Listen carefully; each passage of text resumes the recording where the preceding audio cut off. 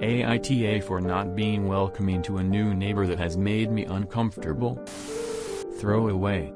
I, 35F, live in a small condo building in a large southern city. We are all friendly and have spent a lot of time together over the last 10 months. The majority of us work from home and text throughout the day. One owner decided to move out and listed her unit for rent. The following events have all happened with the new tenant colon 1. I went to throw away trash in the dumpster outside our building. I discover two masked men using a flashlight to look into our utility closet. I ask what they are doing and they advise that they are there to tour a unit and looking for stairs. The utility closet does not look like an entrance, it is covered in lattice, and has no light. I ask them to leave as that was not an entrance. I inform the HOA, we purchase a combination lock for the utility closet. 2. A few weeks later, we are informed that the unit has been rented. I again go to throw away trash and a male, mid-20s, gets out of a car and tells me they are the new tenant and need the code to access the entrance. I told him to contact his landlord for the code, I uncomfortable providing it since I did not know who they were. They proceed to block me and tell me they need the code, they want to move items in, I can trust them, and just give it to them. I am extremely uncomfortable as I am alone in a parking lot with a man that I have told no to, and who is not listening to know. I finally relent, walk to the front door, and enter the code. He commented he wouldn't look at me entering the code since it was such a secret. I ignore his comment, walk away, and inform our text chain of these events. 3. A few days later, at the end of the workday, I get up to close my blinds as it is dark out and my lights are on. This new tenant is standing on the other side of the window staring into my unit. One of my male neighbors has become friendly with this tenant and tells him that I do not like him, and lists the reasons above. This male neighbor has called me a bitch and said I should be friendlier and I am making the new tenant feel unwelcome. I explained that as a woman. This man has made me uncomfortable and I have no obligation to be friendly with him. As he is a tenant he is not on any HOA emails and should be communicating with his landlord. Standard practice in our building for tenants. The female neighbors in the building all agree with me and if stated my feelings are valid. Our building is clearly divided on this issue with the men telling the women to be more welcoming, and the women explaining to the men that women do not have to be friendly with anyone that they choose not to be friendly with. I am constantly being told I am being a bitch by the male neighbor friendly with a new tenant. The new tenant has now left a bottle of wine and card at my door and I want to place them back at his door and continue to not communicate with him. Am I being the asshole in this situation? NTA Nobody has the right to make you feel unsafe or otherwise threatened. Especially in your own home. Have you spoken to his landlord slash the owner of his unit? I assume the two of you are somewhat friendly.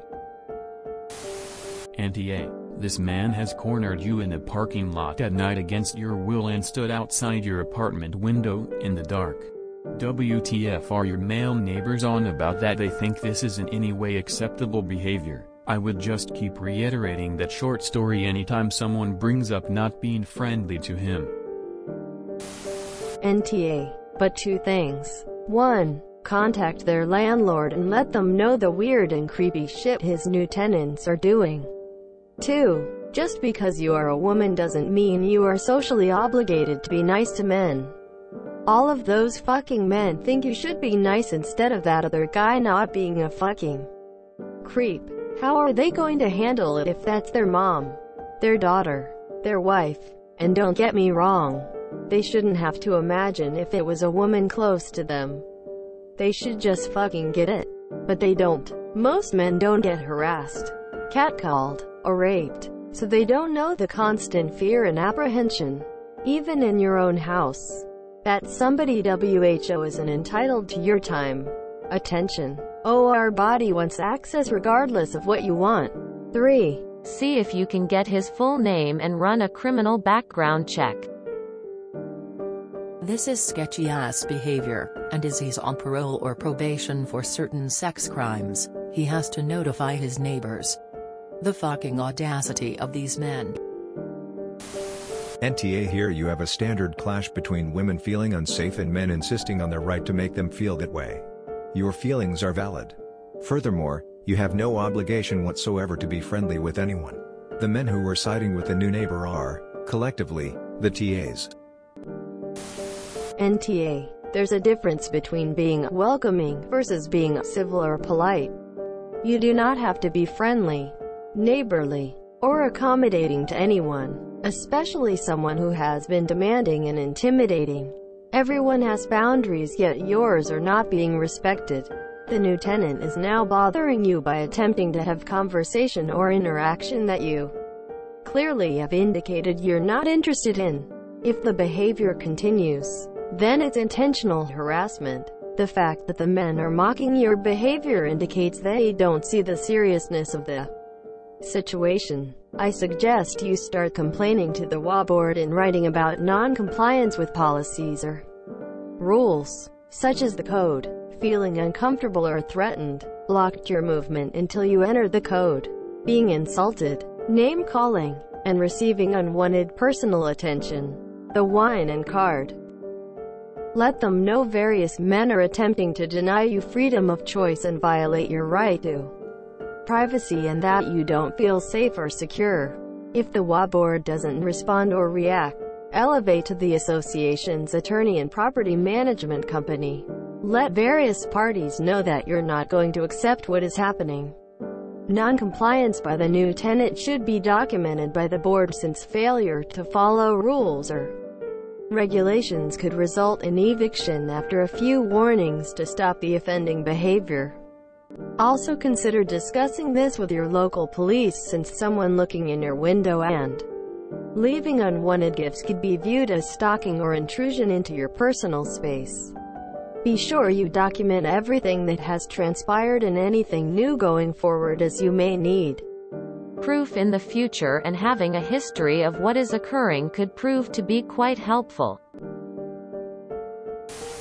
NTA you are under no obligation to be welcoming and friendly to someone who is so aggressive with you and who demanded you give him the code to your building to let him inside when he was a complete stranger to you. Why wouldn't he just call the landlord instead of targeting you and forcing you to do it instead? And then to discover him standing at your window just staring at you is very frightening. This guy sounds like a total creep and you're right to stay away from him. NTA and the fact he left you a bottle of wine creeps me out even more for some reason. I would photograph it. Then place it back in front of his door. Don't even bring it inside. He is forcing his way into your life. Just keep ignoring him. NTA. Read the gift of fear. There's a very good reason you feel uncomfortable around this person. Protect yourself. Frankly with what you have described I am scared for you. NTA. Men to women. Be friendly and welcoming to strangers. Quote. Woman gets raped by stranger. Men to women. Well, you shouldn't have been so friendly and welcoming to strangers. NTA. Why is preferable for a woman to sacrifice feeling safe for fear of being rude?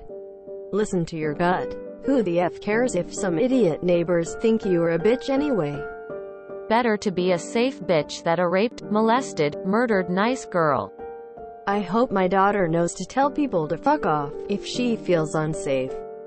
Who cares about them? Look after yourself. Let me in. You can trust me? Okay there, Ted Bundy. I don't think so. Don't accept the poison wine. NTA. Dude was being creepy. Especially since he was staring inside your home. I'm sorry. But no normal person just stares into their neighbor's window. Guys don't understand stuff like this because it doesn't happen to them. I'd inform your landlord about all this so they at least have a record or something of this dude being creepy. NTA. Anyone who pressures you for a combo is not a good person. There is a sense of power involved in doing that to a stranger that should have everyone red flags up. NTA. I was once working out. A large strange man knocked on the glass wanting to get into the gym area because that's where the vending machines were located. I was alone, 5 feet 3 inches and was about 135 pounds soaking wet. He was 6, 0 and 250 at least I refused. When I was leaving, he followed me and yelled at me for not letting him in because he was new to the complex. I walked very quickly across the street, nearly getting hit by a car just to get away from him. He said, I just needed some help. I said, I don't know you. I am not helping you, dude. And was finally able to walk through my security gate to escape. Men have zero idea what it's like to be female. It's downright dangerous. Fuck those guys. We owe them nothing and I would rather be seen as and called a bitch or other names than be dead in a ditch. NTA. He made you uncomfortable, so you don't have to be nice to him. NTA. I would see what the card says but not open the bottle and maybe leave it outside your door rather than going back. Don't give in unless the H sincerely apologize. People like this don't care unless they are unable to feel good about their actions. Maybe I'm speaking as a female. But don't talk to this guy alone and only with someone you trust if you have to talk to him. You don't really owe him an explanation to make him feel better. Just be prepared to also have this be a thorn in your side until something happens. If you're really scared I recommend cameras facing outside if you believe the staring is habitual.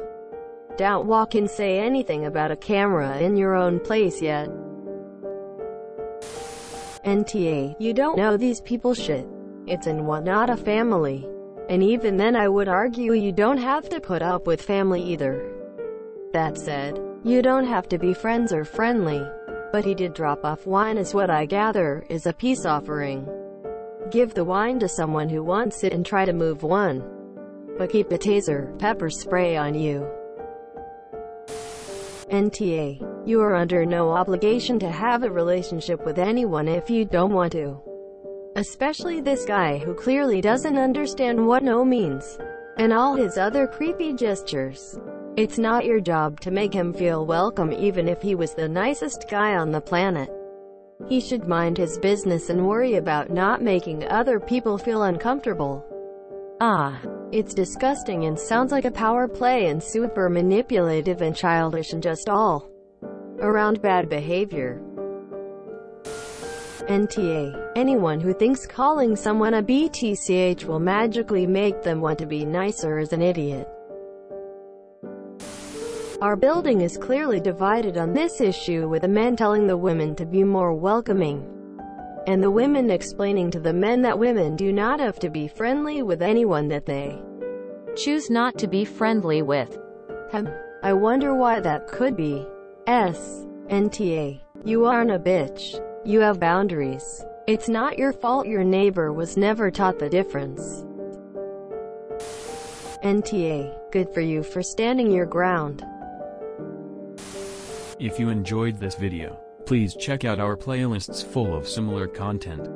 Epicaricast is like doom scrolling for your ears. Please like, share, and subscribe.